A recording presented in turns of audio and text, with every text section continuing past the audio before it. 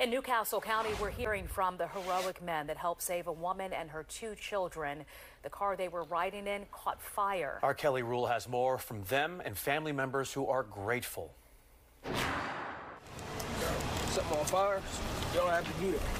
An emotional reunion today. Thank you, man. Thank you. No problem, bro. Harlan Hawkins returning to the Shell gas station at A Street and South Walnut Street in Wilmington to hug and thank the heroic workers that jumped in to this helping his niece, Lariah Anye Hawkins, after her car caught fire, and heroically rescuing her five year old Dante and eight month old baby Elia from the flames.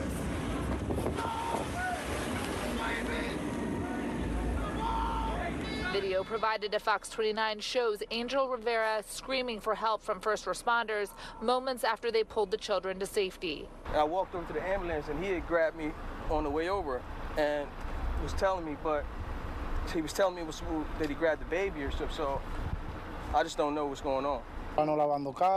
They said they didn't even think about it. They just started running this way and helping around. Through a translator, Wilmington firefighter Alex Ortiz, the heroic men working at the car detail shop say moments after Lariah pumped gas, her car caught fire here just after 730.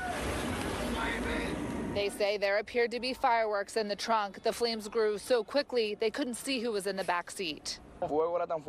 He could hear uh, the baby crying like really loud and screaming. He pulled back and he said, okay, well, let me cover my face.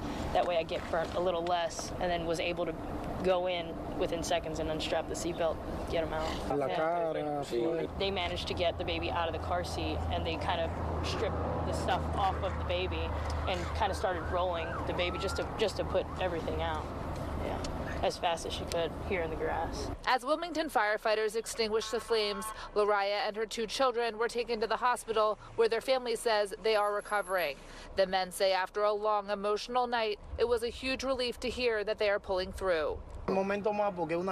Having the baby in their arms and being able to care for them, it's it's frustrating being parents themselves. They said uh, they said of course they feel extremely proud, more so that they were you know given the opportunity uh, to deliver and to respond and to go into action, and that they were able to do so successfully.